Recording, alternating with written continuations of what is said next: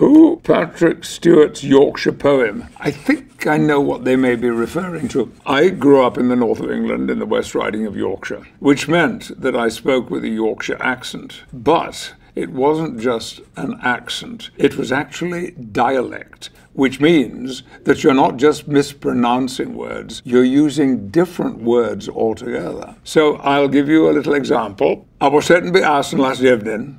My mother and father were off because then you had my old aunt Susanna were laid up in bed with a cough, West Riding dialect.